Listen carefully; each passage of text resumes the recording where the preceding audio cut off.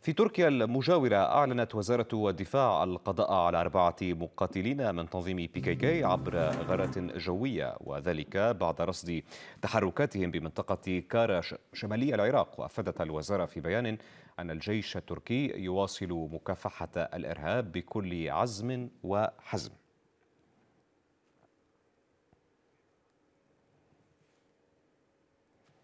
وللتفاصيل حول هذا الموضوع معنا الآن مباشرة من إسطنبول مراسلنا ربيع الصعوب أهلا بك ربيع. إذا ماذا في تفاصيل هذه العمليات التركية شمالي العراق؟ نعم هذه العمليات تأتي ضمن سلسلة عمليات يقوم بها الجيش التركي في شمال العراق وشمال سوريا. الغارة نفذت على منطقة غارة وهي معقل تقليدي لحزب العمال الكردستاني.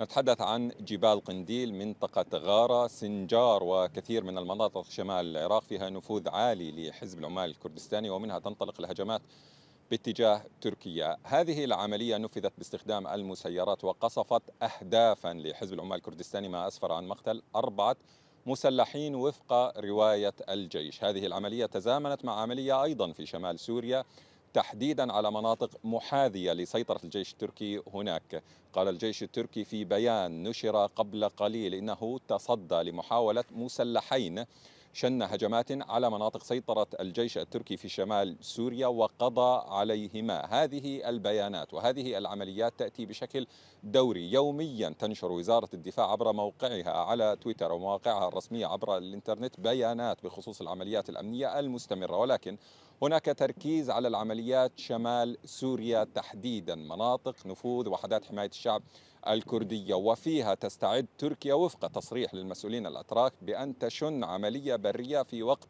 قريب عادة ما تقصف المسيرات. هناك المعاقل لوحدات حماية الشعب الكردية منشآت الطاقة مخازن الأسلحة أيضا والمؤسسات التابعة للتنظيم المصنف كإرهابي في تركيا مثل ذلك تقوم في شمال العراق وفي شمال العراق دفعت تركيا ودفع الجيش التركي فاتورة باهظة خلال الأشهر الماضية نتحدث عن عشرات الجنود الأتراك قتلوا نتيجة اشتباكات مستمرة هناك واختراقات حققها حزب العمال الكردستاني في أيضا معسكرات للجيش التركي في المنطقة. نعم. نعم. أيضا ربيع ربما مثل ما أشرت يعني بالإضافة إلى أنها عمليات هي بصفة دورية كما أشرت يعني إلى أي مدى يمكن أن نقول أيضا أنها عمليات أيضا تتم بالتوازي أو بالتزامن مع عمليات أخرى داخل الأراضي التركية.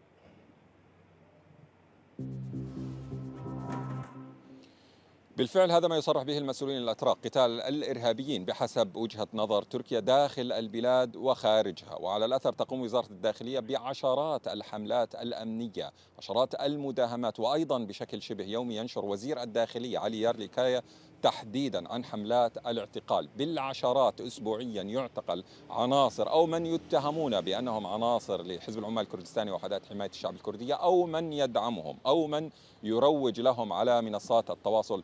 الاجتماعي أو من يدعمهم ماليا أو من يقدم المظاهرات في الشوارع آه، لصالحهم، بالتالي هذه العمليات ليس فقط ضد حزب العمال الكردستاني وحدات حماية الشعب الكردية، هناك كثير من الجماعات المصنفة في تركيا إرهابية، تنظيم جولان، تنظيم داعش والتنظيمات اليسارية المتطرفة وهي التي قامت قبل فترة آه، قصيرة بهجوم على محكمة ومثل ذلك قام تنظيم داعش أيضا بهجوم على كنيسة ومثل ذلك سبقه حزب العمال الكردستاني بهجوم على وزارة الداخلية وقبل ذلك أيضا كان هناك هجوم على تقسيم بالتالي هذه العمليات مستمرة وتتصدى. لما تقول تركيا بأنها تنظيمات إرهابية تستهدف الأمن نعم. القومي التركي سواء بالمناطق الحدودية أو المدن الرئيسية مثل إسطنبول وأنقرة. شكرا جزيلا لك ربيع على كل هذه التفاصيل والمعلومات. إذا كان معنا مباشرة من إسطنبول مراسلنا ربيع الصعوب.